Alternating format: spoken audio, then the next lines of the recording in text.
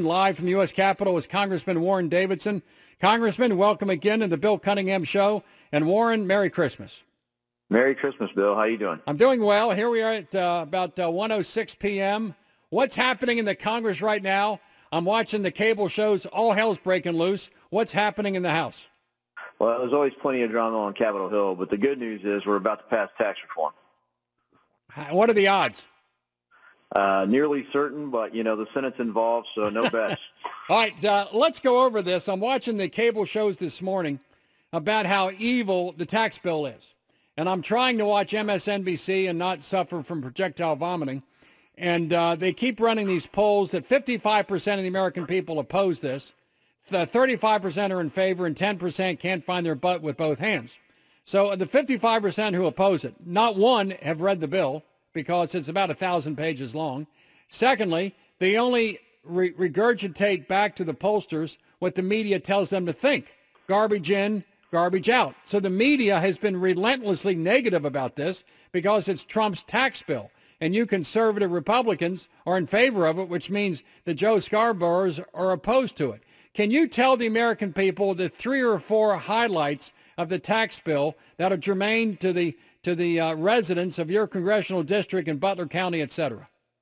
Here's the biggest win. Uh, people are concerned. It's a bipartisan concern about the deficit now, and that's a real challenge for our country. It's great to see Democrats talking about deficit spending or yeah. deficits in general. So that's a big win. And then uh, the tax bill itself, what's the big win? Uh, the reality is, you think about the deficit, uh, tax revenue, cash into the government, um, has only gone up when the economy is growing. And when the economy is not growing, revenue to the government goes down. No matter what tax rates have been over the years. And so you look at under Obama, they were saying, you know, 1.5% is the new normal, 2% is good. The 3% are long gone. Off the expectation that we're going to pass tax reform, the economy's been growing nearly at 4%.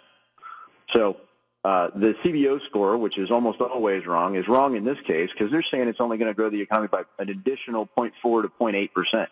Well, it's already growing by an additional 2 percent just off the expectation. Right. And when the economy grows, take-home pay is going to grow. And then when you get into the cuts, the cuts that are in there are going to benefit working class Americans. Yes, it's going to benefit wealthy people because they pay most of the taxes. Uh, but it is going to benefit families. We've run scenario after scenario and people are going to get more take-home pay out of this bill. Let's say you're a working schlep and you live in Bellefontaine, Ohio, or Van Wert, and you you take the standard deduction. You're not a fancy person. You don't have pass-throughs. You don't have 401ks, and you take the standard deduction. Well, what does this tax bill do for a working schlep in Hamilton? Well, it's uh, straight away for everybody. If you say you're married, um, you right now your standard deduction is twelve thousand dollars and change, and uh, now it's $24,000. So effectively, your first $24,000 of income, the tax rate on that's 0%. Uh, then as you go through the rate structure, the rates get lower as you move through uh, on your taxable income. It keeps all the popular deductions, your mortgage deductions, charitable giving, 401k savings. There's a bunch of drama about that. Uh, it keeps all keeps all those, and the, the good news is it keeps medical expenses. So let's say you have a bad year and you spend a lot of money on medical bills. Uh, the bill that passed the House, one of the things I didn't like about it is it got rid of medical expense deductions. This one keeps it. So the final product, uh, for the most part, is better than what passed either body. And, for rich people like Sheriff Richard K. Jones, the alternative minimum tax doesn't kick in until $1 million. So the ATM is uh, the impact of that is grossly reduced because it's $1 million. And the other thing is it keeps the mortgage deduction for interest uh, up to $750,000. And that kind of stuff covers probably 99% of the American people. Not too many people like Richard K. Jones are rich. And he always worried about the alternative minimum tax. It doesn't kick in now to $1 million. And the, all of his homes he has in Boca Raton, for example, uh, he can deduct up to $750,000. Is that correct? Are those the two numbers? Well, that's it. 750 for the mortgage deduction. So the vast majority of homes in uh, in the 8th congressional district would qualify for that. The vast majority of homes across Ohio would be that way, and overwhelmingly across the country. Uh, there's a few people in real expensive parts of the country still a little concerned.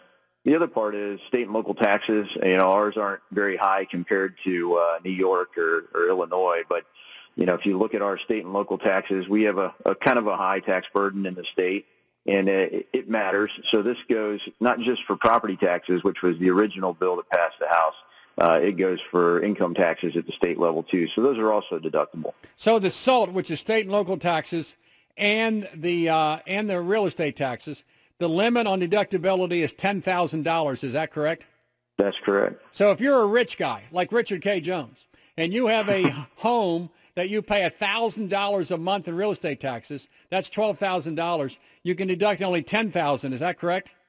Yeah, that's right. And, you know, property taxes in in Ohio, you'd have to have a pretty impressive spread uh, to do that.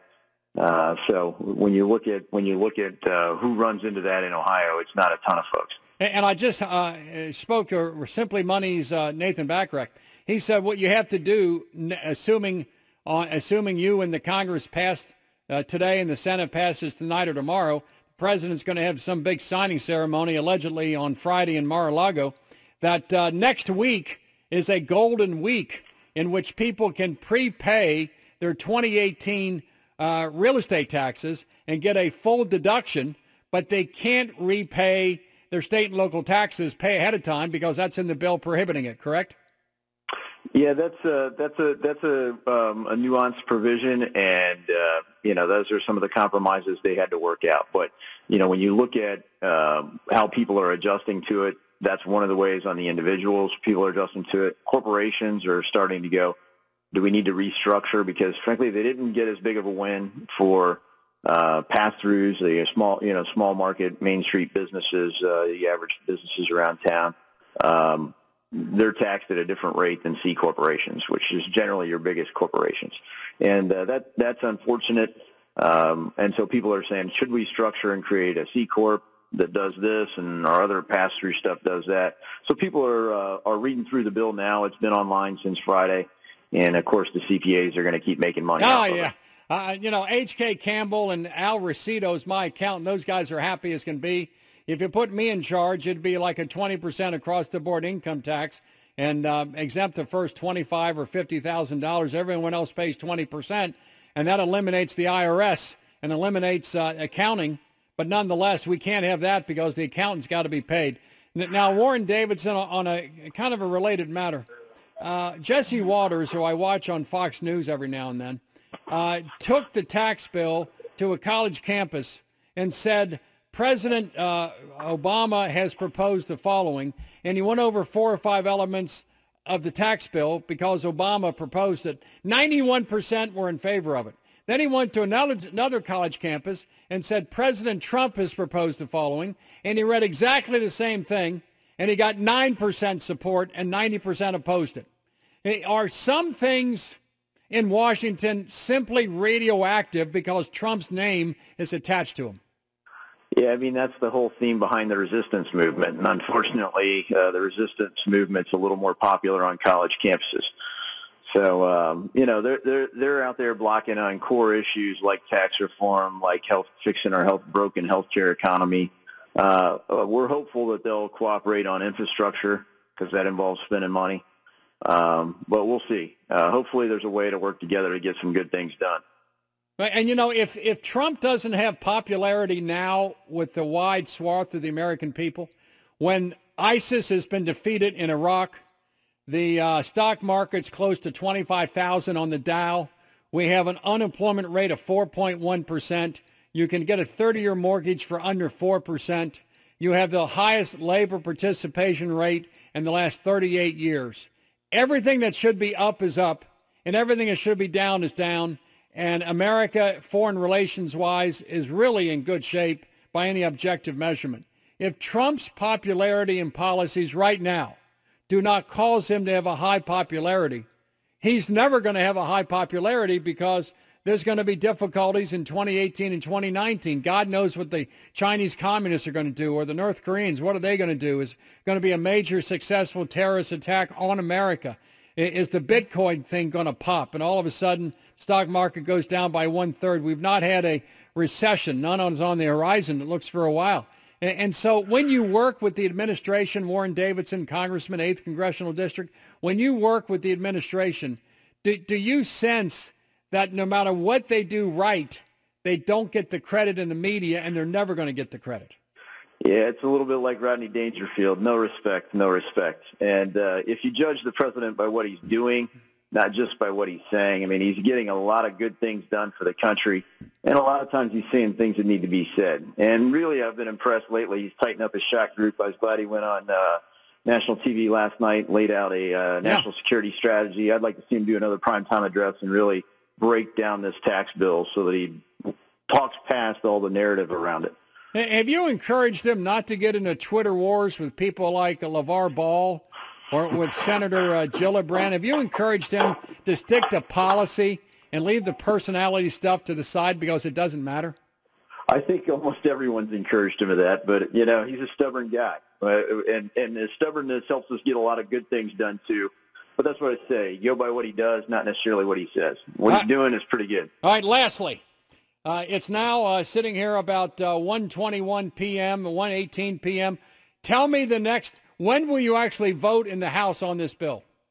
Uh, we're voting today on the bill, uh, and uh, actually just voted on the rule, and you know that that tees up the next vote. So once we vote on the bill, the Senate is maybe going to take action today, most likely tomorrow, and then hopefully we'll be celebrating a win you know, uh, tomorrow, maybe at the White House, maybe not, but, uh, you know, it'll be ahead of Christmas as the president asked and promised. Well, Warren Davidson, Congressman, 8th Congressional District, may you and yours have a Merry Christmas, Happy Holidays, and Happy New Year. You coming home? When are you coming back home where you belong? Well, when we make sure we don't shut the government down. So that may Oh, that's another while. issue, Hopefully, right? What's going to happen yeah. with that? The, the Democrats want chaos they do want chaos, and again, they're working to stir it up. And uh, you know what's popular is they usually just spend a lot of money, and I hope we don't uh, don't lose our minds here on spending after having gotten the win on tax reform. But uh, but yeah, that's the next fight, and it's already underway. Uh, will you have to vote on that by Friday? Yes, we do. And will the government be shut down for Christmas?